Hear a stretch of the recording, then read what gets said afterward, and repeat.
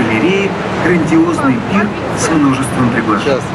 Само собой разумеется, что Арка-мост, проект, который был тщательно продуман и рассчитан, выдержала празднество, после чего вопросы о ее непрочности уже не обсуждались.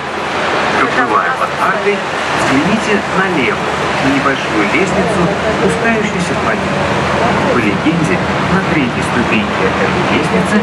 сидит незримый дух Петербурга. Точно, сидит.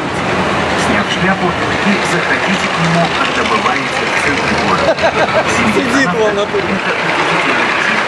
и красивая Дух Петербурга.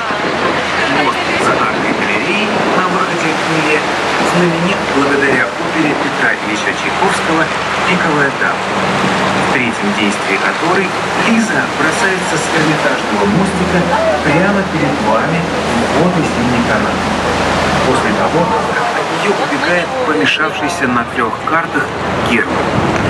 Отсюда происходит второе популярное название этого моста – мостик Лизы. Сейчас мы выходим в акваторию Невы, главной реки Санкт-Петербурга. Именно вокруг этого места и начинал развиваться наш город. Разведенные мосты над Невой давно стали символом Петербурга.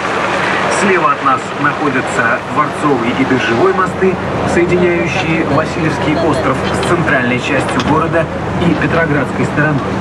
Справа же расположен Троицкий мост, прямо по которому проходит Пулковский меридиан. До начала 20 века этот меридиан использовался в качестве нулевого для отсчета географических долгот на картах Российской империи. В конце 16 века территория Петербурга принадлежала Швеции. Русские и шведы боролись за удобный выход к Балтийскому морю. Отвоевав эти земли, царь Петр I понимал, что нужно любой ценой преградить путь шведам и закрепиться на берегах Невы.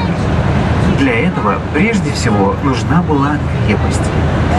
Петр I сам выбирал для нее место, исследуя тонкий берег реки. И на маленьком Заячьем острове, там, где вы видите шпиль собора, выхватил штык у одного из сопровождавших его солдат, начертил в торфе квадрат и воскликнул «Здесь быть моему городу». А потом взял лопату и начал копать ров. Сейчас